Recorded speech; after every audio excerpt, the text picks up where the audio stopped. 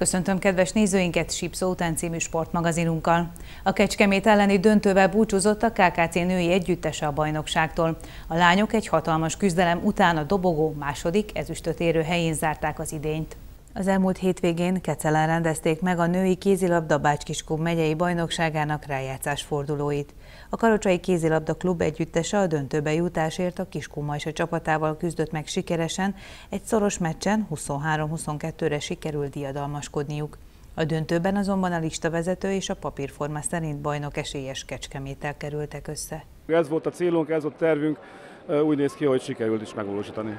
Második félidő elején egy kicsit ráijesztettek a lányok a kalocsai csapatra.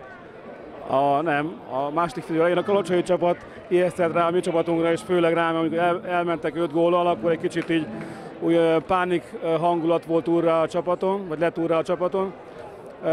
Az időkérés azt hiszem ott használt, és akkor egy olyan, egy olyan pozitív spirálba került a csapatunk, amit már a Kalocs nem tudott lereagálni, és onnan a 15 vagy 10-15-ről mi szempontunkból csináltunk egy 11-3-at, azt hiszem valahogy egy 11-4-et. Ez alatt a 20 mérkőzés alatt azonban kiderült, hogy a Kecskemét egyértelműen jobb a többi csapatnál. Hát remélem, hogy ez ki is derült. Nálunk nagyon a fő szempont az volt, hogy minden gyereknek adjunk maximális játék lehetőséget. Azért ezek, itt a legidősebb játékos is 1999-es születésű, tehát most 20 éves a legidősebb játékosunk, a legfiatalabb pedig 15 éves volt, aki a bajnokságban a pályára lépett. Úgyhogy nekünk az NB1-es ifi mellett az volt a nagyon fontos célunk, hogy aki, aki ott kevesebbet játszik, az itt a megyei felnőttben próbáljon meg, vagy próbáljon meg a, a oroszlán körmeit csuszolgatni, mutogatni, és azt gondolom, hogy ez sikerült is. Bár ezen a mérkőzésen inkább a, a az öregek játszottak, az idősebbek, tehát a 18-tól 20 évesekig, de azért a fiatalok is itt voltak, és végig dolgozták velünk az egész évet, és a többi meccsen játszottak is sokat, úgyhogy azt gondolom, hogy amit elterveztük ebben az évben a csapat életében, azt meg is valósítottuk.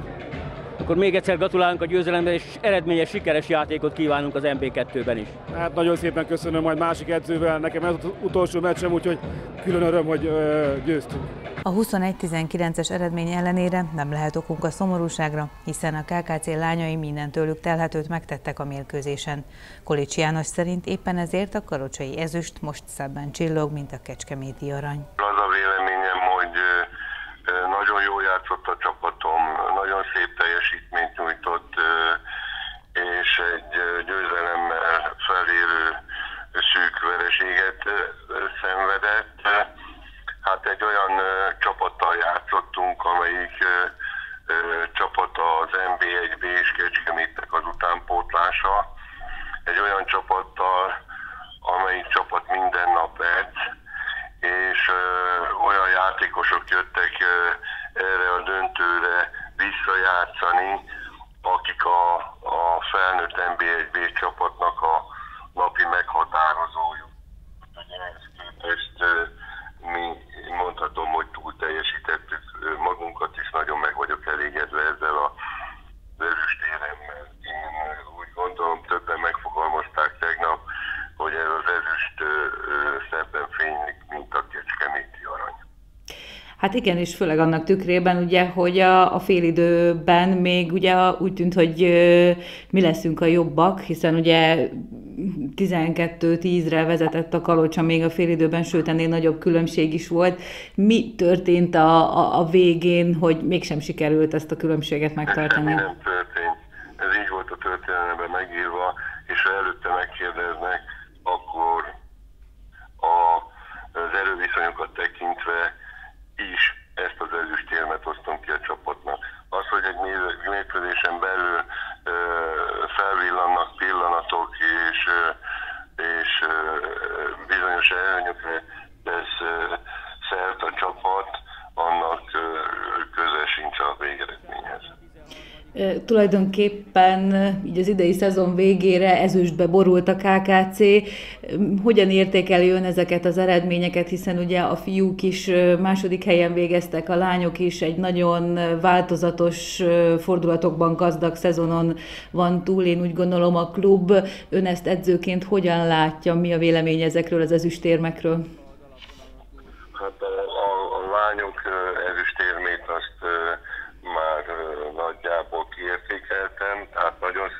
nézik. A lányok egy nagyon szép utat jártak be. Az elmúlt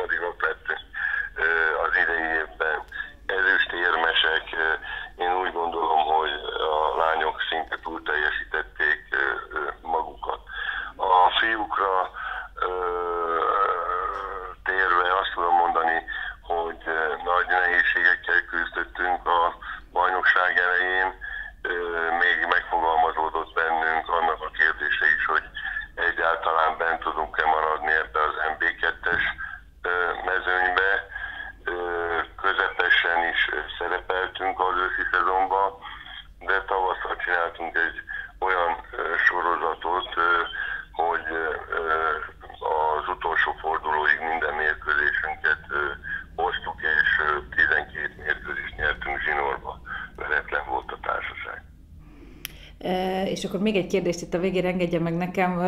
Történt egy sérülés itt a, a lányoknál a döntőben. Mennyire súlyos ez a sérülés?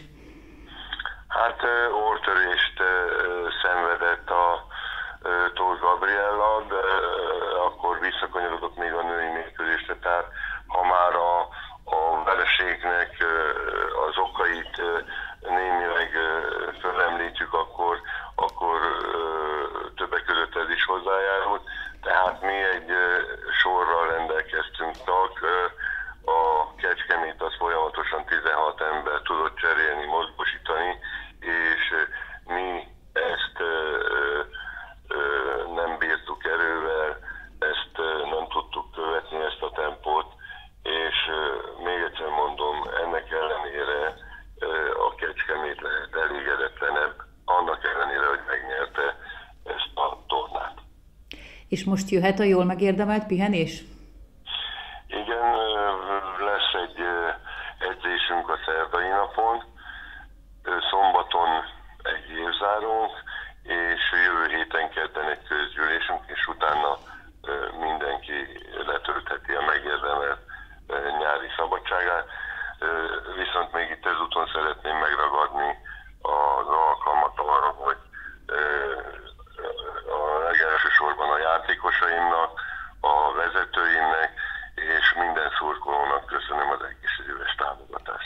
Gratulálunk a lányoknak a rendkívüli teljesítményért, zárásként pedig következzenek a bajnokság legszebb pillanatai.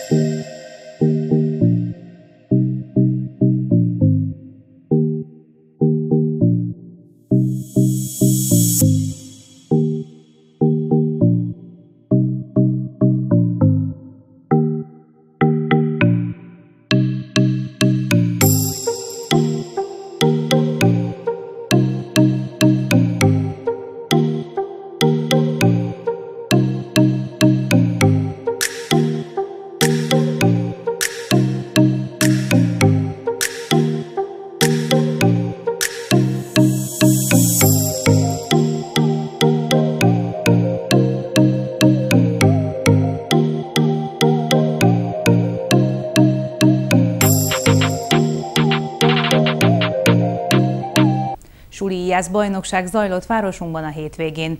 A versenyen elsősorban a délalföldi és a dél-dunántúli régió ifjú sportolói mérettették meg magukat. Szombaton minden adott volt ahhoz, hogy rendben lebonyolítsa a Sárközi Jász Egyesület városunkban a soron következő Suli Jász bajnokságot. A nagyszabású rendezvénynek a gyermekotthon sportpályája adott helyet, mely kiváló terep volt a sportolók számára, illetve a napsütéses idő is jó lehetőséget nyújtott a lövésekhez. A résztvevők korosztályok szerint álltak a céltáblához. 18 éves a legidősebb versenyző, de hát vannak köztük 7-8 évesek is, és ugye ezen a palettán mozognak a legkisebbektől a legnagyobbakig. Mai nap folyamán hányan méretetik meg ügyességüket?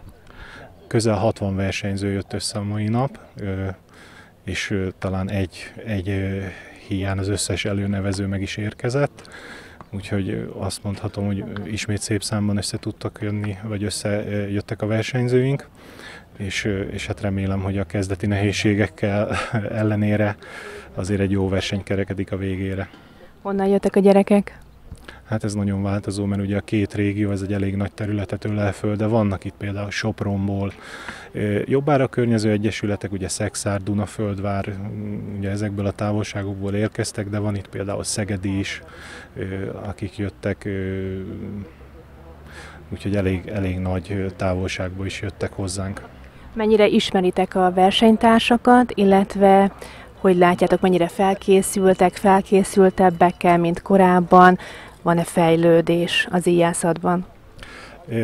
Fejlődés mindenképpen van, ez mindig úgy van, hogy, hogy minden évben jönnek új arcok, új gyerekek, főleg a kicsik között.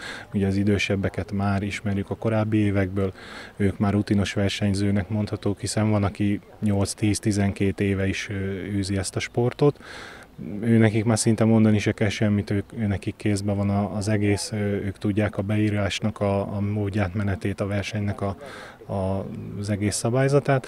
A kicsik azok, illetve ők, akik még, még segítségre szorulnak, hiszen tényleg vannak itt egész kicsik is, akik épp hogy megtanultak írni, olvasni és számolni. Ők még segítségre szorulnak, őnekik segítünk beírni. Ugye két bíró van most a pályán, illetve a biztonságtechnikai ellenőr, akik minden kiértékelésnek kint vannak, és figyelik, hogy, hogy ne történjen szabálytalanság, ne történjen tévedés. A rendezvény célja egyértelműen az íjásport népszerűsítése és az utánpótlás nevelés fejlesztése volt. Kalocsáról ketten vettek részt a versenyen.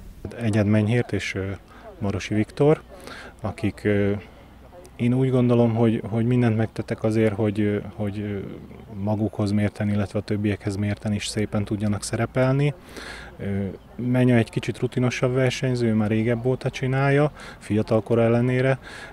Viktor, ő még egy, egy, egy fiatalabb versenyző, aki, aki kevés versenyen volt, és, és ő neki még azért ez új dolog, de eddigiek szerint én úgy látom, hogy nagyon szépen helytállnak, nagyon szépen tudják követni a versenyt, illetve oda tudnak figyelni a, a Csupor Zsolt edző által tanítottakra, és ezeket föl tudják használni.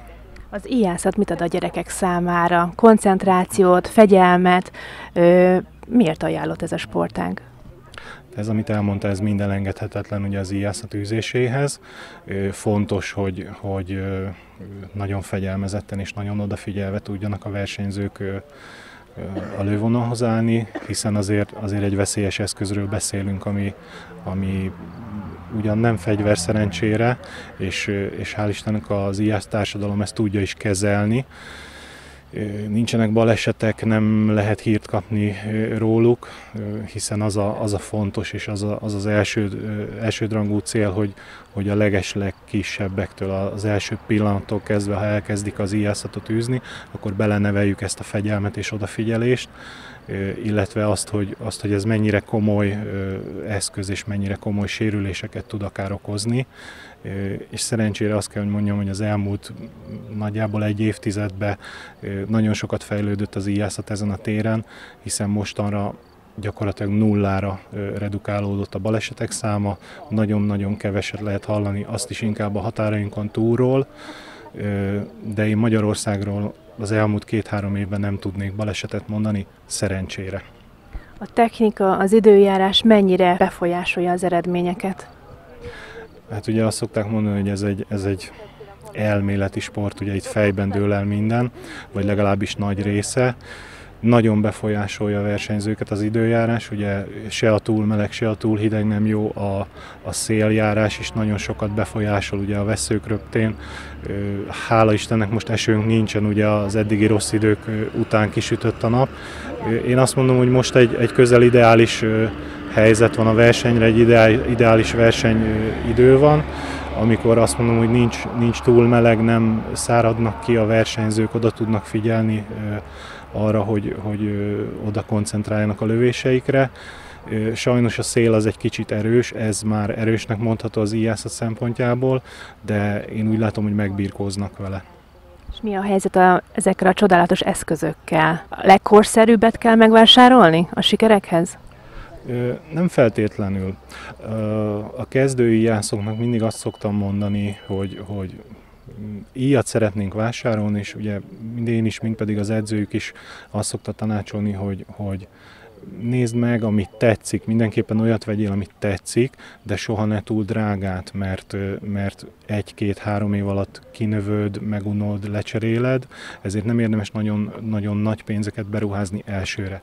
Hát aztán ugye utána a csillagoség a határ, hiszen a, a szokták mondani viccesen, hogy a király kategória ugye a csigás íjászat, ahol, ahol több százezer forintokba kerül az íj, aztán a felszerelést hozzá fölépíteni újabb százezer forintos nagyságrendek, tehát itt is vannak elég komoly felszerelések, amik, amik, amik tényleg több százezer forintos értéket képviselnek, de szerencsére ezt is megtanulják a gyerekek is már, hogy, hogy ezt tiszteletben kell tartani, oda kell figyelni, és nagyon-nagyon vigyázni kell rá. Hogy tervezitek, meddig tart a mai program, és mit kapnak a legjobbak? Most az első forduló megy, nagyjából a negyedik vagy az ötödik sorozat mehet éppen a hátunk mögött. Ez, ez körülbelül olyan fél 12-12-re véget ér, akkor lesz egy kicsit hosszabb lélegzetű szünet, egy ilyen fél órányi szünetet szoktunk tartani, akkor megebédelnek, lepihennek, körülnéznek, addig ugye a versenyirodába kiértékelik az első kört, és olyan fél egy és egy óra között neki indul a, a második sorozat, amiben újabb 12 kört fognak lőni, 12-szer három lövést, és ennek valahol 2 óra magasságában 2 óra után lesz vége. Ugye akkor a versenyirodára vár még egy kör kiértékelés, és a két sorozatnak az összértékét fogjuk összeadni a végén. Azt szerint fogunk eredményhirdetést tartani, ugye az éremmel, éremmel és oklevéllel készültünk, úgy terveztük, hogy oklevelet minden versenyző fog kapni helyezéstől függetlenül, hogy valami emléket tudjon hazavinni magával, illetve hát gyereknek a gyereknap alkalmából készítünk egy kis édességgel is a gyerekeknek. A Sulijász bajnokságon szerzett pontokat a résztvevők tovább viszik a döntőre, ahol egy összesített pontérték után születik meg a végeredmény. Közel 150 nevező volt az 1-3-6 órás futáson vasárnap az Érsekkertben. A Kalocsai földön futók ötödik alkalommal szervezték meg az egyre népszerűbb eseményt. Jó idő volt a versenyen, a frissítésre kellett leginkább figyelniük a hosszabb időn keresztül futóknak. Sokan azért a hat órások hoznak magukkal, már van velük kísérő, aki kísérő őket, frissítőket, megvan ő nekik a saját speciális frissítésük. Hát mi, amint adunk vizet, sportitalt, kólát, banán, mazsola, szőlőcukor, ilyen sós, ropi, mogyoró, vajaskenyér, tepertő, vinyópapa tepertője, tehát ezekkel kedveskedünk a futóknak. Elő szokott fordulni, akik hosszabb távon, hosszabb időt mennek, hogy valamiféle rosszul léttel is kell számolni? Ugye lehet látni, hogy van egészségügyi személyzet is. Egy versenyen mindig le kell rá számítani, tehát nekem egyszer azt mondták, hogy az egészségügyi részével nem szabad spórolni a versenynek, mert, mert az bármikor jöhet, ahhoz nem is kell futni vagy terelni magát, hát tudjuk, hogy az ember megy az utcán, bolya lehet. Tehát itt, itt is előfordul természetesen, de reméljük, hogy most nem lesz. Hány fő vesz részt a szervezésben? Azt lehet látni, hogy vannak pontok, ahol ott vagytok, segítetek, szerveztek? Ez körülbelül 20-25 fő segít most konkrétan, ugye rajt előtt többen is voltunk ugye a nevezések miatt. Ez a 20-25 fő, ez mindenképpen kell, ugye ki kell hozni a cuccokat, ugye frissítőknél ott kell állni valakinek, pakolni kell a poharakat, az enni innivalókat, hogy vannak szépen, és tényleg olyan lelkesen csinálják, meg ugye a masszőr is segítségben van, a Magdi, lemasszírozza a futókat, aki szeretné, hogy a lábmasszás kap, de a Szejsztibi ugye a és a Csilla az egészségügyes részt csinálják, és hát így haladunk szépen előre. Meg lehet oldani hulladékmentesen ezt a futást? Lehetett ott látni, hogy kukák is vannak kirakva, hiszen futóversenyen sok vád éri a futókat, hogy szanaszét dobálják a poharakat. Nyilván, tehát ilyen van, tehát hiába rakunk ki, vagy raknak ki mindenhol, tehát kukákat, tehát főleg az időjárás és a szélfúj nyilván elviszi a poharat. Szerintem jelen pillanatban nem találtak ki erre olyan megoldást még, ami, ami erre jó lenne. Tehát az a műanyag pohár egyelőre még a leghasználhatóbb dolog szerintem, tehát most ha tetszik, ha nem mert, mert a futónak fel kell venni ezt a frissítőt. Nem lehet az, hogy ott áll valaki egy üveg vízzel, és akkor megállnak a futók, és öntözgetem sorba nekik a vizet valamiből, vagy, vagy egy csapról, vagy nem tudom, nem tudom elképzelni egyelőre még egy futóversenyt, anélkül, hogy szemetelni ne szemeteljünk, hozzáteszem, hogy összeszedjük, tehát, tehát kínul az úton nem hagyunk szemetet, zsákba rakjuk, és elviszük a megfelelő helyre. Mi lesz a díjazottaknak a, az érem, vagy mit kapnak a, a legjobbak? Hát mind a három időtartamban az első három férfi és nő egy porcelán ajándékot fog kapni, egy tányér, lehet gyűjteni, tehát ha süteményes tányérnak, mert tényleg az a méret, egy, tényleg egy szép ajándék, valamint minden távon van négy kategória, ahol az első három helyezett érmet fog kapni, és mindenki más pedig oklevelet. Mi a következő verseny, amire készültök? Itt már lehetett hallani félfüllel, hogy a szelídi futásra úgy utaljam át a nevezést. Ez lesz az? A szelídi futás, igen, ő lesz a következő nagy versenyünk. Ő augusztus 3-án fog lezajlani. Már oda is szépen jönnek a nevezések. Lehet, lehet nevezni, főleg az a helyi környékbelieket azért nagyon várjuk, tehát ők, ők rám föltétlenül számítunk. Ő nekik itt van, helyben van, nem kell utazni sem messzire. Ért szép a tó környéke, ugye az utóbbi években sokat javítottak ott körülötte, a tájon, meg mindenen. Tehát ez szép és jó egy szép napot eltölteni a tóparton. Visszakanyarodva az 1-3-6 órás futáshoz volt itt több spártai futó, ultramaratonista, többszörös maratont futó, és olyanok is, akik leginkább a jó hangulat a társaság miatt jöttek Kalocsára. Régebben volt egy műtétem, akkor nem tudtam futni, és akkor fölvettem egy elmesz, hogy legalább szurkolni tudjak. Ez jött a hideg, és akkor jó volt, jó volt tűnt ebbe futni, aztán rajtam maradt most már télen-nyáron, most már vagy 7 éve. Hogyan kerültél ide Kalocsára? Honnan hallottál erről a futásról? Hát én a szervezőket már régóta ismerem, és elcsaltak, hogy jöjjek szervezni, ami sikerült is, úgy érzem. És hát akkor nyertem ezt a futást cserébe. Először vagyok itt amúgy, sajnos először, de most már majd jövök többször is. Mire kellett figyelned? Mennyiben más ez a terep, mint más futóversenyeken? Igazából nem kellett figyelni semmit, végig beszélgettem itt egy másik ismerősömmel az egészet, úgyhogy itt ez tényleg bulira vettem az egészet most.